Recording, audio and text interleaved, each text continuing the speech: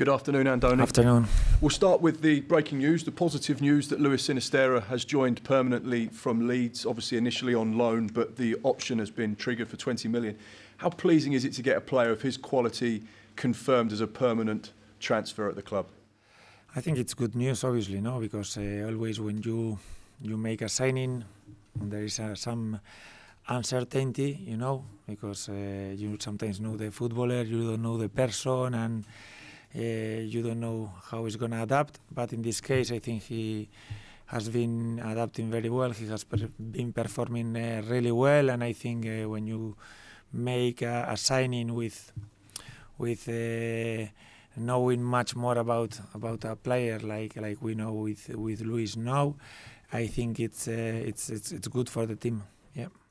You've you've touched upon it there. He's obviously been a, an important player for you this season, but he feels like he's becoming a better player week in week out now. How much better can he get? How many more levels are there to his game?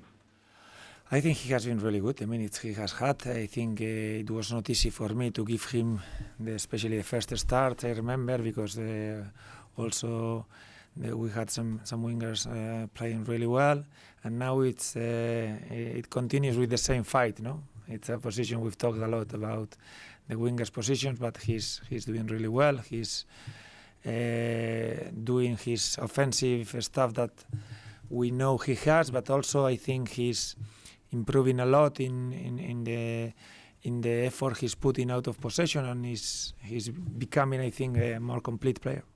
On deadline day, you signed Enes Ünal from Getafe a player that initially couldn't come over to the country because of his visa. That's now been sorted out. He's obviously been training with his new teammates. Is he available to play? And what have you seen in the, the training sessions that you've worked with him about his quality and, and what he'll bring to this squad?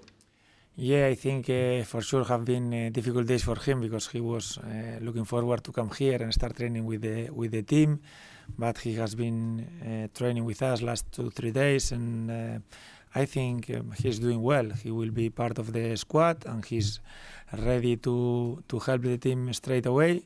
Obviously, we will have like uh, with Romain, we'll have to spend some time now with the uh, with the info, with the things we want from from each player. But I think he also he speaks uh, two three languages, so I think it's it has been really really easy for for him, and uh, I hope uh, that this process of the adaptation was is, is is quite fast and goes well.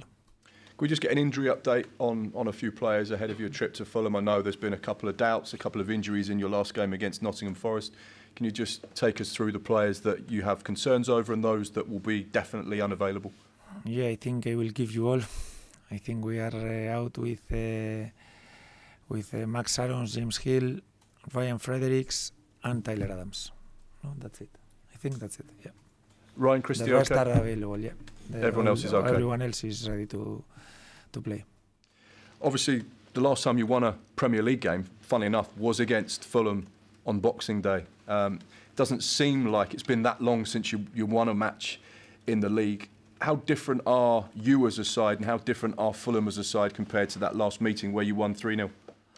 It's, it's strange because we played. Uh, not so long ago against them, no? And we haven't changed a lot. Both teams, I think the way we play is pretty similar, pretty consistent, uh, game to game to game, and uh, I think they are a very good team. They are especially on the ball. They have uh, they take very good positions. They have players with a lot of quality, mm, and uh, I think we we have to defend really really well. Otherwise, if you are not aggressive enough, if you don't win duels uh, they have been really good, especially some games where they start taking the the ball and, and feeling confident.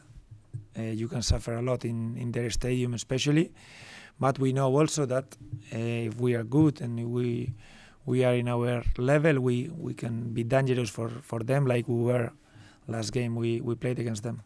How much will Armando Broja change the dynamic of, of their attack should he start? He's obviously a player with good experience, hasn't played a lot at Chelsea, but he wants to prove that he is more than capable of playing for Chelsea and at the very highest level. Were you expecting a, a significant input from him?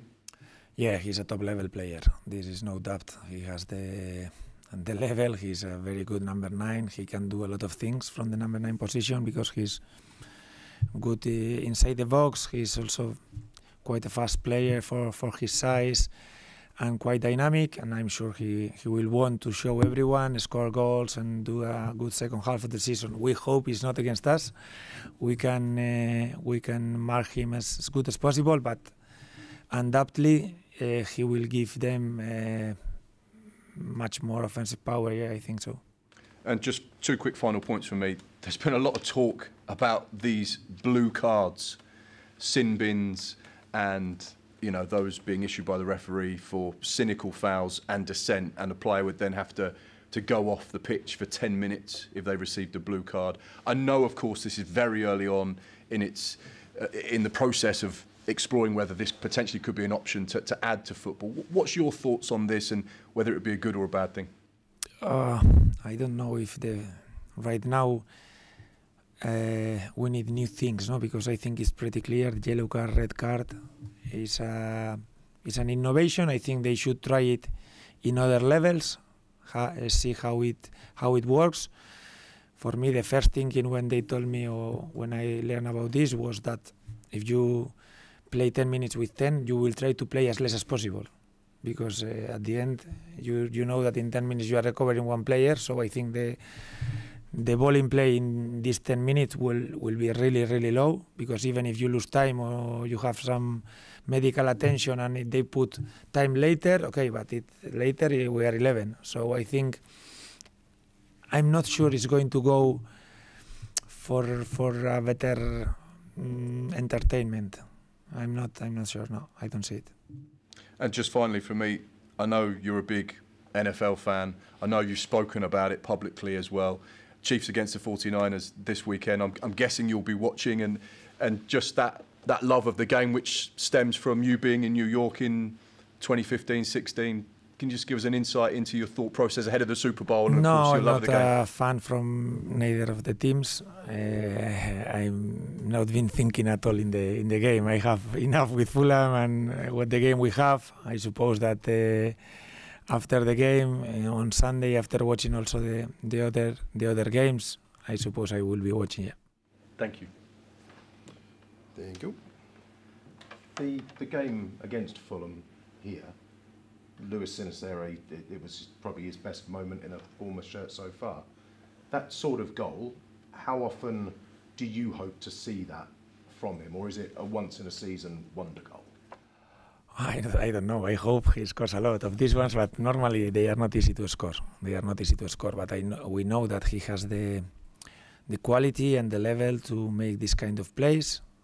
Uh, but uh, he also knows he has to do a lot more things, you know, for the team, and we demand a lot more things from the from the wingers. And I think he's he's giving us every day. He's giving us more and becoming a more complete uh, uh, winger. And that that phrase, becoming a more complete winger, how excited are you about how much potential he has? Uh, I think he's a, a, player that he has shown before in, in Feyenoord, in Leeds, especially that uh, whenever he has had a good run of games and has had a good uh, physical condition with us, he hasn't had, I think, any physical uh, issue. He has been available, I think, all the trainings, all the games, and I think it gives him a lot of confidence because he has the technical ability and he has the attributes to, to be dangerous uh, up front for us. Yeah. And the timing of the deal, making it permanent, was it just because he was so upset to have a Premier League goal taken away from him by that ruthless Justin Kluivert? no, I think I don't think so. It's, it's good that he's also helping us a lot in offensive set pieces, even if he's not tall. He's uh, much more dangerous there than it looks, and it's good he provides this kind of of, of uh, things to the team. I think the timing is because uh, I think the club had better conditions than the one that uh, previously were agreed, and they took the chance and they decided to sign him. I, I think that's the, the main reasons. Um, as far as Bournemouth on the road, I think you've already you've very nearly matched how many away wins of last season, and you've already scored in more away games in the Premier League than than last season.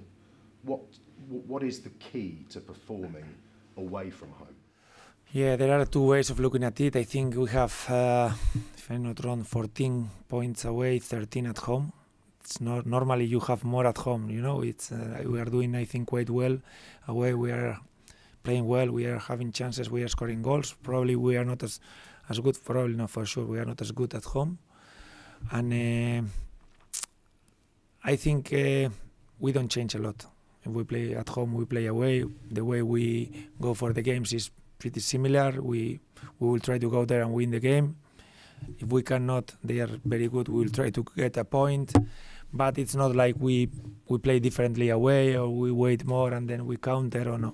We try to control the game. Sometimes we are not able, and we have to do it uh, without the ball. Here, I think the three 0 against them, they had more the ball than us because normally they are very good in possession, very very good. It's difficult to to to stay a lot of time on the ball against them, and we we have to know this when we play them, and we have to know that we even if we are not on the ball, we have to suffer, we have to stay together, and we will have our chances, our momentum. But it's not easy against this kind of opposition. No, I think they are uh, one. It's, it's difficult in the Premier to say one of the best teams on the ball. No, but they are really good. Is it difficult to convince players you can have exactly the same approach away from home? Is there a natural sort of reticence, reluctance? Why is it so no, difficult normally? I think we, we do it naturally. No, the, the, the, the, the messages we send, I think they are pretty similar. Obviously, we prefer to play at home because we have the the supporters behind. But uh, even if in our away games we have a lot of uh, support, and uh, I think we are we are doing really well. Yes, away. Yeah.